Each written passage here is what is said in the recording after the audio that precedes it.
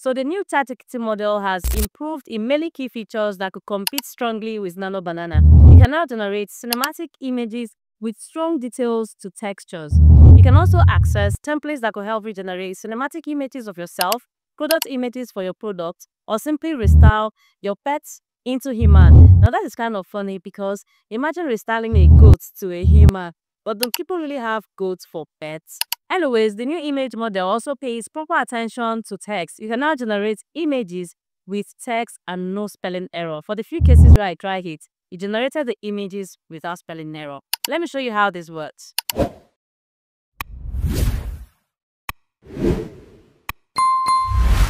Open ChatGPT and head over to Images. On this interface, you're going to see Try a style on an image. These are templates that you can try out. You can select any of them that is here. And if you want to see more of the templates, tap on this arrow to see other options that are available. There are many options that you can choose from. I think this is the last one that they have on the template. So when you want to use any one, simply tap on it. Tap on choose a new photo if you don't already have a photo. So I already have this one that I've recently uploaded. I'm going to tap on it. Now ChatGPT will start generating an image using the template that you selected and the reference image that you uploaded. It already generated this image prompt that it's going to use to generate your image. So you're going to give it a little time and see the image that it's going to generate. So one of the things that ChatGPT does is that it gives you two options for you to choose. Now you can select any one that meets your taste. For this video, I'm going to tap on this image two is better and then would have this one. But if you want, you can download both of them. It is still available for you to use. If you want to download any of them, it's quite simple. Tap on the image, tap on save and it's going to save to your device. Now let's get back to see other options that are available. And when you look here, you see some other templates that you can use like turn my apartment into a storybook, reimagine my pet as a human, give them a bowl cut, style me, redecorate my room, create a coloring page. And like before, if you want to see more options, tap on this arrow to see other options.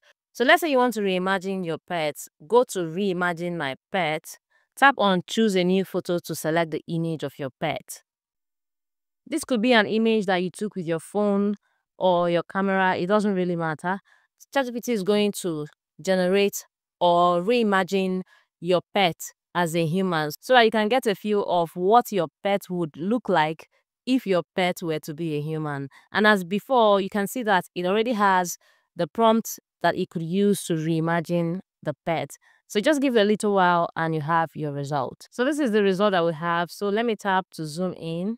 This is what we have and this is really cool. So if that goat to be a human, this is what the goat is going to look like. I think it's kind of cool you might want to see what your pet looks like if your pet were to be a human. So this is the same way that you could use to create product image for your images. And if you want to do that, all you have to do is return to images. You're going to see create a professional product photo. So once you tap on it, you're going to see the option to choose a new photo where you're going to select the image of your product. And as usual, once you do that, ChatGPT is going to start generating a quality product image for your product.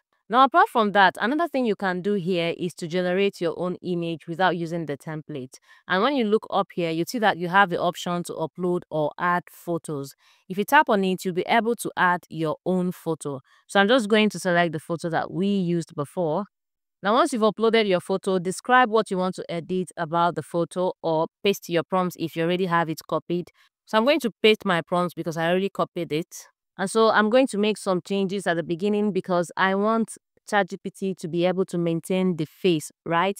So I'm going to say, while maintaining the exact facial features, create a hyper-realistic close-up portrait of a human face captured in natural window light. So I'm going to be dropping this uh, sample prompt and other sample prompt in the video description. So you check out the video description if you want to try out some of the prompts that I used here. So I'm going to tap here to see the result that we're going to have.